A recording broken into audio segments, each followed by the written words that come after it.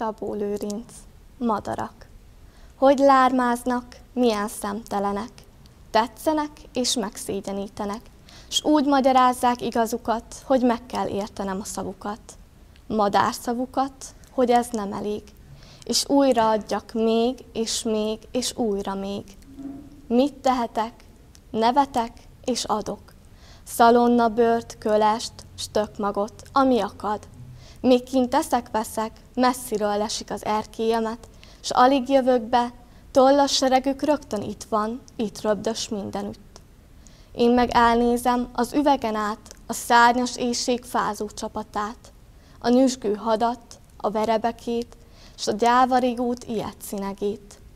Nézem őket, szégyellem magamat. Könnyű szeretni a madarakat. Könnyű bizony, és elgondolkodom ellenségeken és barátokon. Eszembe jut ez meg az, amiót emberrel tettem.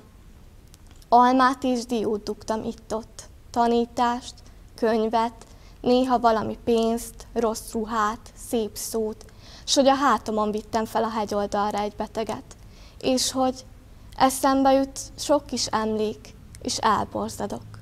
Nekem sok volt, másnak mégis mit ért? Mit tehet az ember az emberért? Mit tehettem? Szégyellem magamat. Madarak verik az ablakomat, éheznek, fáznak, mint az emberek. Ne tegyem azt amit tehetek. Madarak, no még egy marék magot, és elfüggönyözöm az ablakot.